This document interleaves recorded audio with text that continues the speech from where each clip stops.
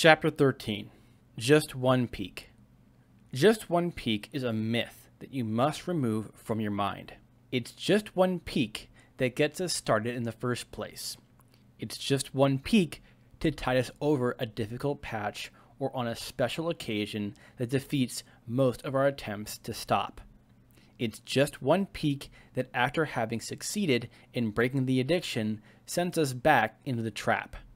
Sometimes it's just to confirm they don't need porn anymore, and one harem visit does just that.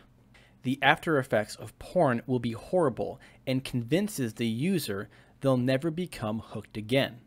But they already are the user feels that something making them so miserable and guilty shouldn't have made them do it, yet they did.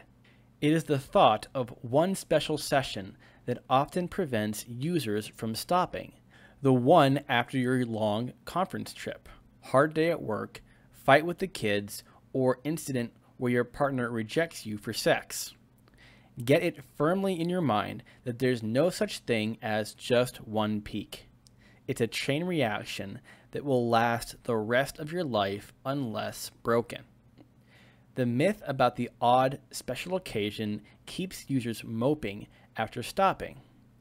Get into the habit of never seeing the no big deal session. It's fantasy. Whenever you think about porn, see a filthy lifetime of spending eons behind a screen for the privilege of destroying yourself mentally and physically a lifetime of slavery and hopelessness. It isn't a crime if your erections are unreliable, but it is when you could be happier long term, but instead choose to sacrifice that for short term pleasure. It's okay we can't always come up with something to do for the void. Doing that isn't realistically possible in every instance for our entire lives. We can plan for most of them, but sometimes it just happens. Good and bad times also happen, irrespective of porn. But get it clearly into your mind that porn isn't it. You're stuck with either a lifetime of misery or none at all. You wouldn't dream of taking cyanide just because you liked the taste of almonds. So stop punishing yourself with the occasional no big deal session. Ask a user with issues if you had the opportunity to go back to the time before you became hooked, would you have become a user? The answer is inevitably you've got to be joking. Yet every user has that choice every day of their lives. Why don't they opt for it? The answer is fear.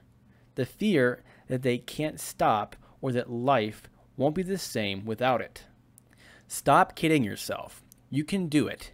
Anybody can. It's ridiculously easy, but in order to make it so, there are certain fundamentals to get clear in your mind. 1. There's nothing to give up, only marvelous positive gains to achieve. 2. Never convince yourself of the odd no big deal or just one peek session. It doesn't exist.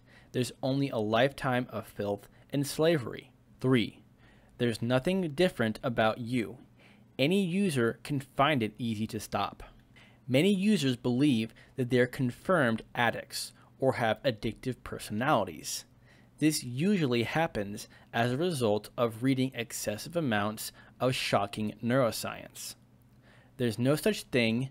Nobody is born with the need to masturbate to video clips before they become hooked.